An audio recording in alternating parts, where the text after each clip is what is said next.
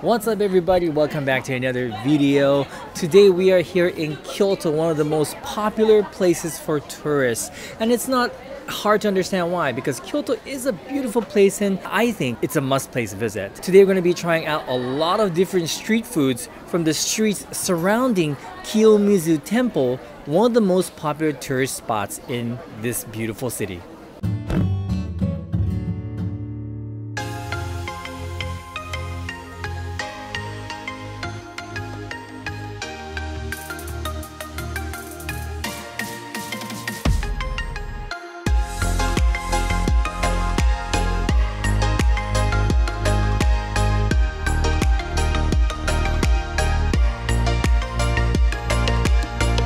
It's been 30 years since I came here last time. Yeah, that's a very long time. I was here this summer to uh, do some research actually for this video. And let me tell you, there's a lot of good street food around this area. I didn't know this before I did some research. I really didn't. Every time I came to Kiyomizu Temple, I went directly to the temple and that's it. You know, so I didn't I didn't know about all the yummy food. mm-hmm. So today I'm gonna show you around this area Oh. because I did the research. A lot of good food. Trust me. You ready? Yes, I'm ready. Let's go. So the first place is Baizando. We found this yuba cheese, torokeru yuba cheese.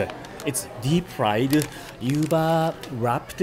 Inside is cheese and fish cake. Kamaboko, like kamaboko. Itadakimasu. Mmm. It's freshly made.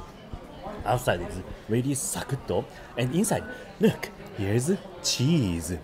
And this part is kamaboko, like kamaboko, fish cake. Mm. Oh my god. Did you hear that crunch?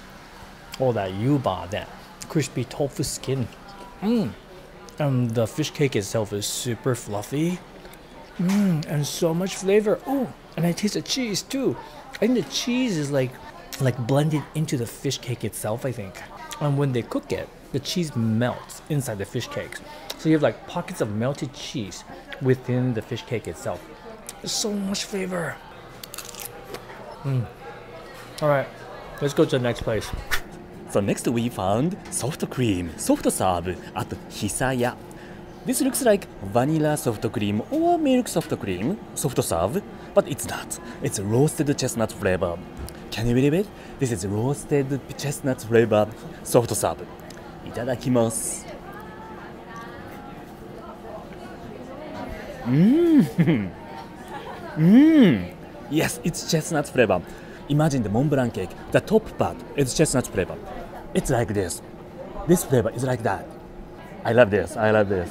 By the way, they also had a matcha soft serve which looked really good, but we couldn't resist the roasted chestnut. Um, it's roasted chestnut season, well, chestnut season, and this place is super famous for their Mont Blanc or chestnut cake. But uh, you know, we're doing street food today, so we thought we'd get the soft serve instead. Oh, that's actually a very nice chestnut flavor. I have to say, the first bite it was a little bit subtle, but then if you like let it linger on your tongue, the chestnut flavor comes out pretty strong. Check it out. Oh, what a surprise! There's a whole roasted chestnut on the bottom of the cone. Mmm, that is so lovely. All right, just a few steps away from the last place we went is this place called Mori Tokikan. Uh, they are known for their ceramics. They have a shop um, selling ceramics in here as well as right across the street. But they also sell food, and they sell something that looks like this. I love these uh, buns. This one is not your normal, typical nikuman or pork bun. This is made with Kyoto Wagyu, Kyoto Japanese beef. This is 450 yen, so they're using premium beef. So if this is good, I think it's totally worth the price. So let's check out what it looks like on the inside. All right, let's check it out. Let's check it out. Wow. Wow. Okay, I see some uh, shredded bamboo shoots and I see beef. And you know, if you look at the beef closely, it's a little red. So it looks like it's like uh, not like uh, well done. It's a little bit. It's not rare. It's like medium. Medium. It's like cooked medium. Wow. Okay, I can't wait to take a take a bite. It smells amazing, guys.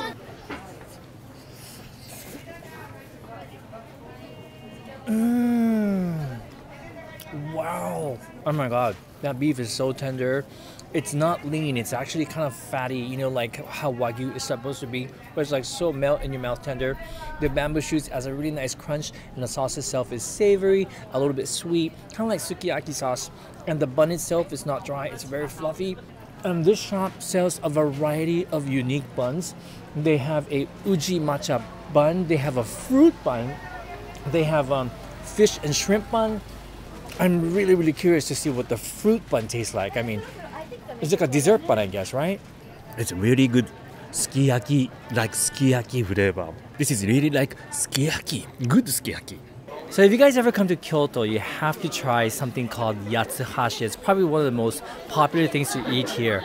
This particular shop is called Nishio. They've been doing business for over 300 years, and um, I got something. This is this is the original yatsuhashi. They've been making it for over 300 years. It's basically a cookie tinged with cinnamon. So Satoshi's not going to be eating it because he actually doesn't like these. But anyway, let's try this.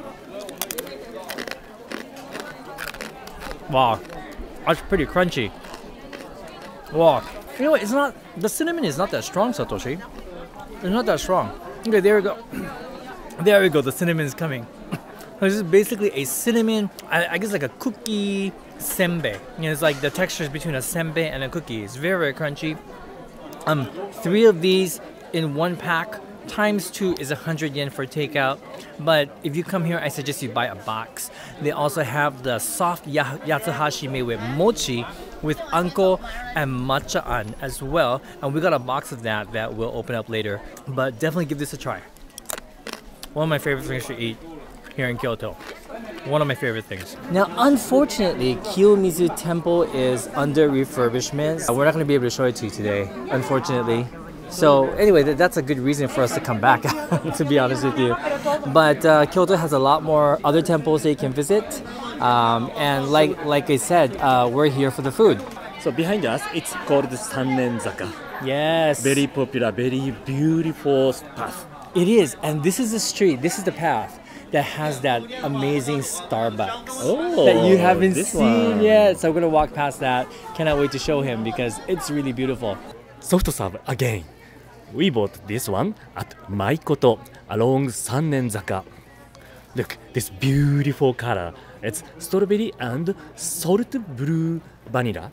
This plate is rice cracker. These balls are also rice cracker all edible. Oh, mmm, it's very gentle salt flavor, but it enhances the sweetness of this soft serve and this cracker. Very light, very light sakuto. Strawberry?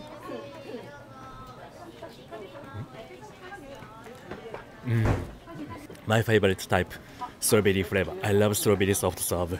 I discovered this place this summer when I came here to do research, and I love this shop.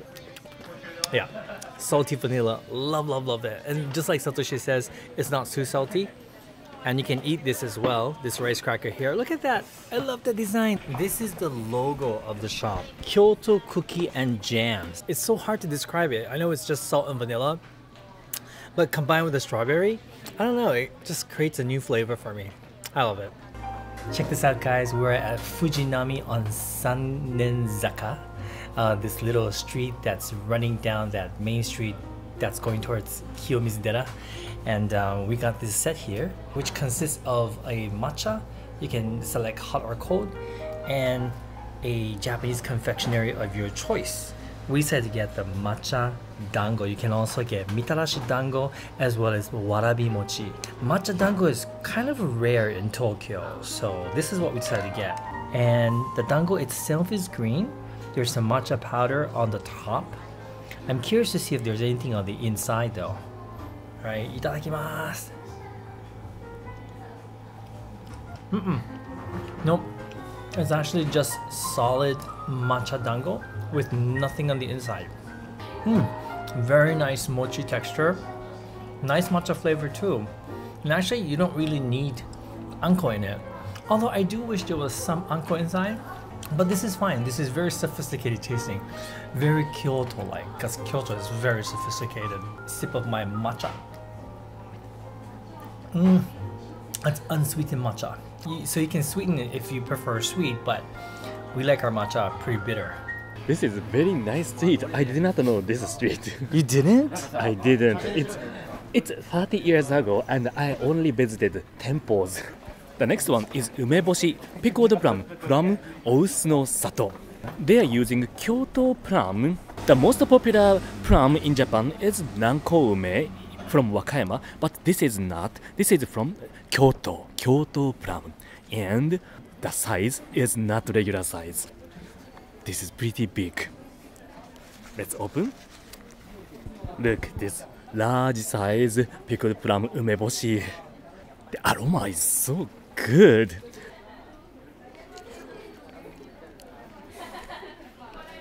It's sweet as pickled plum.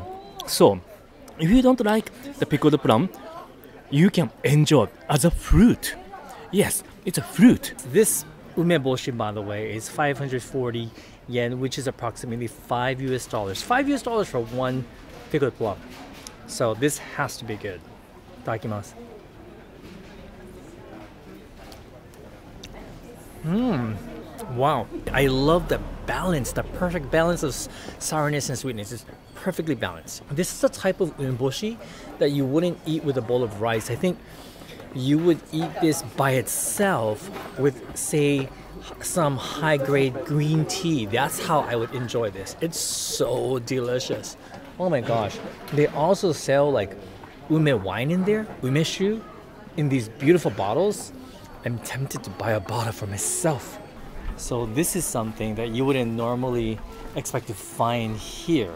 But this is actually a Starbucks. You have to really look to to to to see that it's a Starbucks because you don't see that Starbucks logo anywhere except up there, but it's so subtle.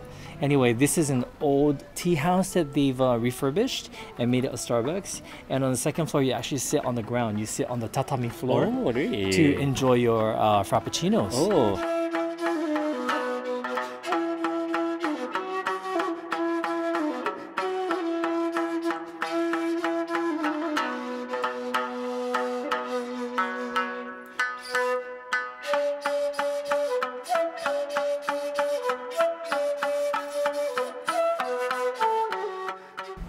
Guys, check it out. This is from a shop called Kamanza and this is Nama Fu Dengaku. So Fu is wheat gluten and Dengaku is usually miso. This is basically a square or a block of wheat gluten with um, this sweet miso sauce on top. We got the yuzu miso flavor. Mmm, mmm, mm, that yuzu miso is delicious. Oh, it's a sweet miso, but with a like a yuzu flavoring. I love that, and it has a little bit kick too. I think there's some chili pepper on top. Mm, very neutral in taste. So the miso is intense enough that it gives it enough flavor. I think. So they also have a manju, uh, namafu, wheat gluten manju, and some other things. But we want to eat savory stuff, so we chose this dengaku. I love dengaku. Mmm, nice texture. It's like a soft dango, but dango is squishy. This is less squishy than dango. Yuzu miso flavor is really good. I found nice shop, nice liquor shop. It is called Kikizake Dokoro Sansaro, 336. It's Sansaro in Japanese. And this is Kyo Hannari IPA. Yes, IPA. It's a craft beer in Kyoto. The, the shop is really cool. I couldn't resist this beer from this shop. いただきます。うまい little bit different US IPA beer. What shall I say? It has umami. What shall I say? It's like a wine or cheese, some kind of like that, or miso. But it it's present present flavor. I like this. I like this beer. And this shop is located at the corner of Sanjozaka and Chawanzaka. You can find easily this shop when you go or come back from Kiyomizu-dera.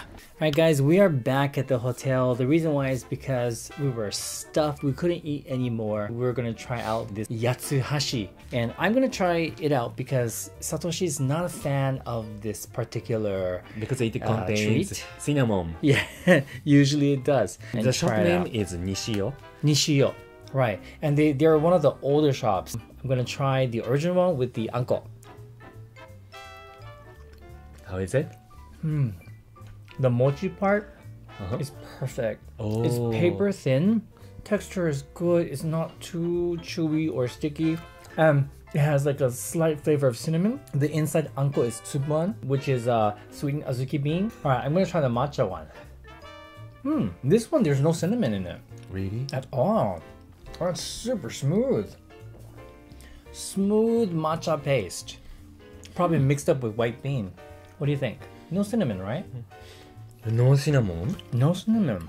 No cinnamon. Oh. Hmm. It's pretty good, isn't it? Mm. No cinnamon yatsuhashi. Mm. I can eat. I can eat. So we finally come to the end of this video and it is time to choose our favorites.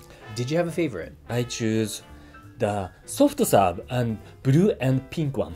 The blue and pink one, the salted vanilla yeah, yeah, and yeah, yeah. strawberry mm-hmm. soft serve. Mm-hmm. It's soft serve, but it has a texture because there are rice crackers around the soft serve. Mm-hmm. It's, it's like a salty caramel. Right, and the cone itself is a sugar cone, but it's a chocolate flavored sugar cone. so everything about that soft serve is delicious. And another another soft serve is also good because it, there is one whole chestnut. Oh yeah, that one was really good too. My first favorite has to be that wagyu beef bun. Ah, that's good too. Um, That one was mind blowingly good. And I think most of you out there, if you come to Kyoto, you are definitely going to love that. Uh, So definitely give that one a try. Look at that, my mouth is already watering just thinking about it. It was so good. And my second favorite, um, because you already chose the ice cream, the soft serve that I was going to choose, is this one, the last thing we had in the room. I can't stop eating it. like I'm not a big fan of mochi, but I like this kind of mochi because it's very thin, paper thin. So it doesn't it's not the texture it's not so much mochi where it feels that it's gonna get stuck in your throat or I love it. Plus I love cinnamon. Thank you so much for watching this video. Hope you enjoyed it. If you did, please give it a thumbs up. And if you are new to our channel, please, please, please subscribe. And don't forget to press that bell icon so you're notified every time we release a new video. Thank you for watching. See you next food travel. Yes, it's probably gonna be Kyoto. Bye.